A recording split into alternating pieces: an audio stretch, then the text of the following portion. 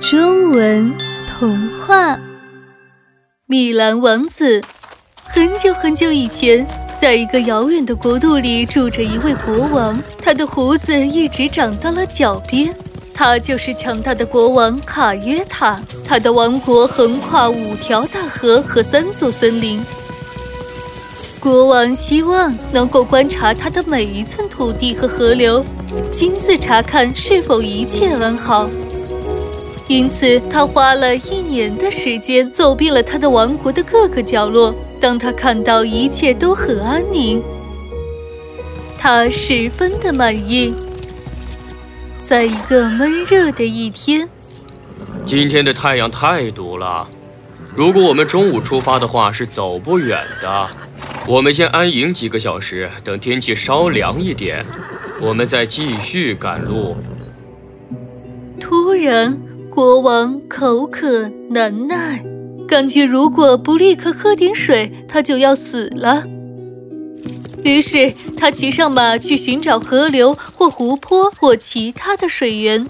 他找了很久，来到了一个湖泊，湖水碧蓝，像水晶一样波光粼粼。国王太渴了，他趴在地上，像猫一样舔着喝水。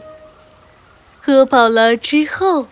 国王想站起来，但是有什么东西抓住了他的胡子。他看见一张巨大的绿色的脸正从水下望着他。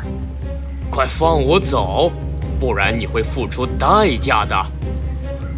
你的威胁对我不起作用，因为水下是我的世界。不过有一个条件，我可以放你走。什么条件？你要把你王宫里最珍贵的东西给我。尽管你现在对他一无所知。好的，我答应你。听到这里，怪物松开了国王的胡子，放了他。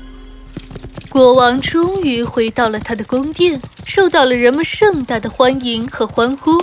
他的王后在宫殿门口等候。哦，亲爱的，当你不在的时候，看看天使赐予我们什么？我们的儿子。这个王国的王子，你要把你王宫里最珍贵的东西给我，尽管你现在对他一无所知。嗯，原来这就是那个怪物的意思，他想要我的儿子。亲爱的，怎么了？看到我们的儿子你不高兴吗？哦，亲爱的，我太高兴了，我有点不知所措，不知道该说什么好。我的儿子，这个王国的王子。国王因为害怕怪物把他亲爱的儿子带走，所以好几个晚上都睡不着觉。他要确保他儿子在任何时候都被保护得很好。但随着时间的流逝，王子长成了一个聪明勇敢的年轻人。除了武器以外，他还对许多其他的东西感兴趣。国王渐渐地忘记了他对怪物的恐惧。但是有一天，当王子在森林里露营的时候，他和伙伴们走散了。正当他在森林里探险寻路的时候，哦，米兰王子，伟大的卡约塔国王之子，我认识你吗，先生？你不认识，但你爸爸认识。告诉他你见过我，我还在等待他履行诺言。我们还会再见的，孩子，先再见了。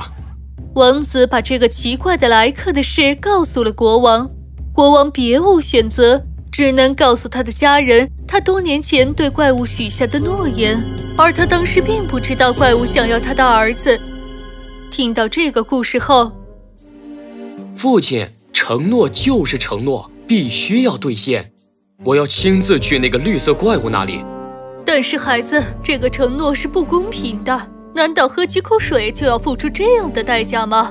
无论是什么，母亲，承诺一旦做出就必须遵守。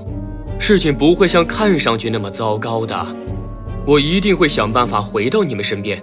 现在，请让我去吧。国王和王后知道王子是对的，很不情愿地把他送进了森林，送到了绿色怪物所在的那个湖边。当王子来到湖边时，他看到有十只鸭子在湖里游泳。还有十件衣服留在岸上。王子藏在一棵树后面，鸭子们一个接一个的走过来，穿上了那些衣服，她们立刻变成了美丽的少女，走开了。只有最后一个姑娘留在后面。躲在树后面的人是谁？对不起，女士。当我看到你们都在水里的时候，我也不知道该做什么。你怎么会到这里来，米兰王子？如果你知道我的名字，那么你一定知道很久以前我父亲对这湖底世界统治者的承诺。统治者是我的父亲，我是海星西亚公主，她最小的女儿。好吧，我的确认为你父亲喝几口水的代价太高了，但是。跟我来，我带你去见我父亲。于是，海星西亚公主在地上拍了三次，王子和公主来到了一个宏伟的宫殿，站在绿色怪物面前。太好了，你终于来了，米兰王子。是的，殿下，我来履行我父亲很久以前对你的承诺。终于来了，好吧，今晚。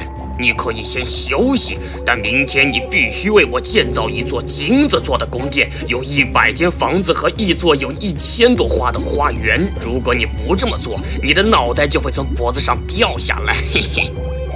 为什么要等到明天呢，殿下？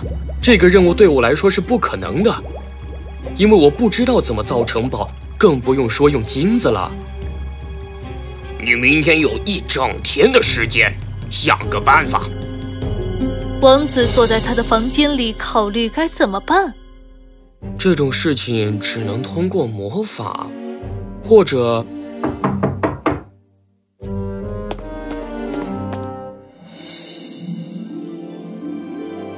是的，你需要魔法来建造城堡。王子，你先睡，我马上会用魔法把宫殿建造好。不，公主。那样等于作弊，挑战已经摆在面前，我必须光明正大的完成它。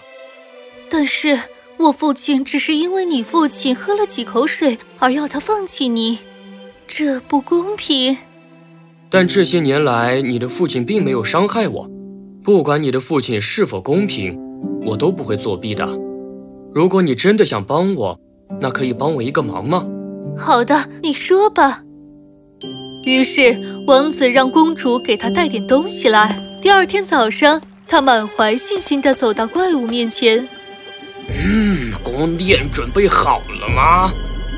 哦，是的，殿下。看这里。什么？你让我为你建造一座宫殿，有一百间卧室和一千朵鲜花。好吧，陛下，您可以数一数里面有多少鲜花和房间。你从来没有说过要让我在陆地上建造它，所以我在纸上造了它，就是这样。哈哈哈哈哈！你真是聪明，米兰王子，我必须承认你是对的。嗯，再帮我一个忙，我就让你回到你父亲那儿去。我会尽力的，陛下。好，这里有一块钻石，它在我的手里。如果你能在明天之前把它拿走，你就自由了；否则，你就会掉脑袋的。那天晚上，米兰王子又开始思考如何从怪物的手中夺走钻石。这时，有人再次敲他的窗户。今晚你一定需要我的魔法来完成任务，让我去吧。我可以马上给你拿到钻石。不，公主，那样就是作弊了。谢谢你的帮助。但我父亲对你的要求是不公平的。就这样吧，我不会作弊的。如果你愿意，你可以帮助我。你能帮我带点东西吗？什么都行。第二天早晨，王子来到怪物的院子里，惊慌失措，觉得就要死了。看，米兰王子，钻石还在我手里。这次你失败了。我明白，殿下，我接受失败。那么，你的脑袋就要搬家了。你准备好了吗？是的，殿下。但在我的脑袋掉下来之前，我能许个愿吗？陛下，您知道我一直都是正大光明的。嗯，好吧，我会满足你。你可以向我提任何要求，除了钻石。我希望我的脑袋从脖子上掉下来，是从这儿，不是从这儿，因为这个娃娃是我的一个复制品。这个脖子和脑袋也是我的。你只说我的脑袋会从脖子上掉下来，但您从来没有说会让我死。嘿嘿嘿嘿嘿，很好，米莱王子，你很聪明，非常好。你实现了你的诺言，我也要兑现我的。你可以回家了，告诉你的父亲，他有一个好儿子，聪明伶俐，并且不会屈服于诱惑。诱惑！父亲让我怂恿你作弊，看看你是否会屈服。但你没有，你保持机智和冷静，光明正大的赢了。因此，你应该活下去，统治你的王国。那么，陛下，现在我们是朋友了吗？是的。告诉你的父亲，他不需要再害怕我，我将是他永远的朋友。如果你们都同意，我希望我可以把女儿嫁给你，你会成为一个好丈夫的。哎，对不起，我是说了一些冒犯你的话了吗？啊？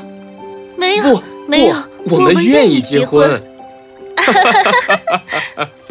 于是王子回到了他的王国，两个敌人成了朋友。王子和海辛西亚从此幸福的生活在一起。